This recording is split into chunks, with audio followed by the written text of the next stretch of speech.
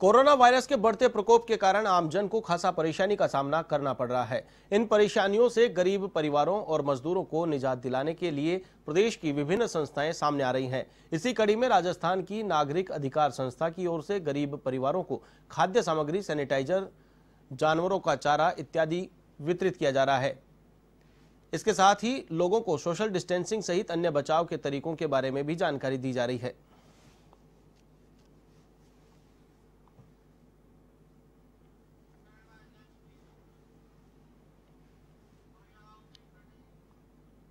खबर जोधपुर के भोपालगढ़ से